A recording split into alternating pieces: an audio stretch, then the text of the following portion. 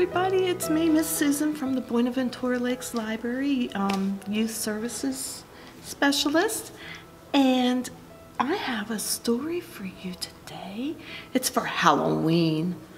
It might be a little creepy, might not be a little creepy, but it's sure to be fun.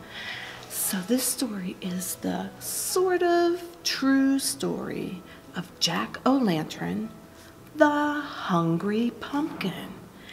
And, well, this is Jack. He's, he's a nice little orange pumpkin, and he's one of my Halloween decorations. He sits on my front porch every October. But the strangest thing happened the other day. It was at nighttime. It was dark and stormy night.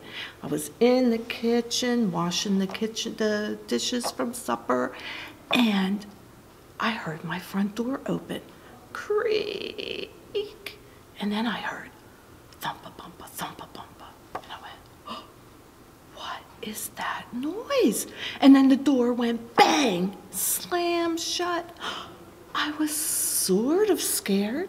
I didn't know what was going on. And then I hear thumpa bumpa thumpa bumpa, and I turn around and here comes Jack. Thumpa bumpa thumpa bumpa thumpa bumpa thumpa bumpa thumpa bumpa thump. Jack, what are you doing in my house?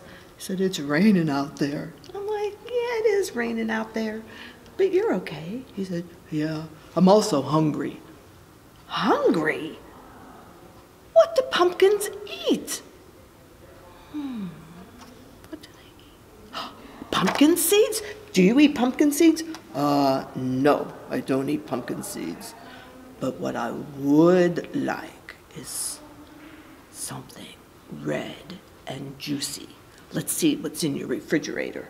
So he opened the refrigerator door and he found a, that's right, a strawberry.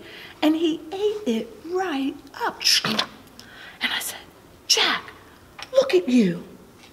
You are red. Did you get strawberry juice on you? Do you need a washcloth? No, I'm okay. Were you out in the sun too long? No. Did you wear sunscreen? No, you didn't put any on me. Are you sunburned? No, I just turn red when I eat the strawberry. Oh. But you know what? I'm still hungry. What else is in that refrigerator? And he went rummaging through the refrigerator again. And he found grapes. What color are those grapes? Purple. And he ate them up, chomp, chomp, chomp, chomp, and Jack, look at you. You're purple, just like the grapes. He said, I know, isn't it great? And I said, well, yeah, kind of. Although I never turn colors when I eat food. That's okay, I'm a special pumpkin. Okay. Do you have anything else to eat? He looked around and he saw, he saw these on my counter. Some bananas. And he ate not one, not two, but three bananas. And he ate them all, the peel and everything. He put that all in it before I could even stop him. But he ate them all up. And then he turned. I said, Jack, look at you. You probably shouldn't eat the banana peel because now you're yellow. He said, oh, it's okay. I'll be fine. What else is in your refrigerator? I said, I don't know. He looked in there and he found some blueberries. No, Jack, I said, don't eat those blueberries. They're for my breakfast tomorrow morning. But he ate them right up, chomp, chomp, chomp, chomp, chomp. And then he turned blue.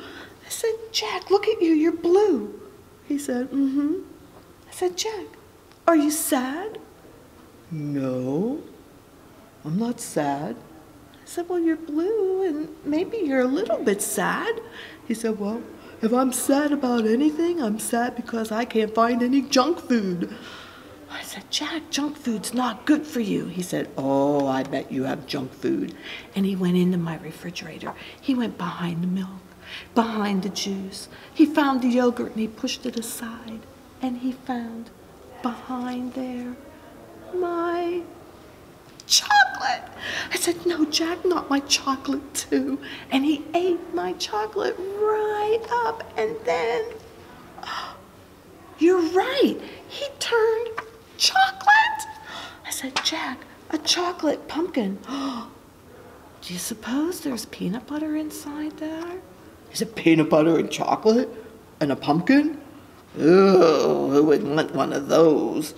I said, Well, somebody might like a chocolate peanut butter pumpkin. He said, No, but I'm still hungry. I said, Jack, really? You shouldn't be eating so much. You might get a tummy ache. Oh, I'm still hungry.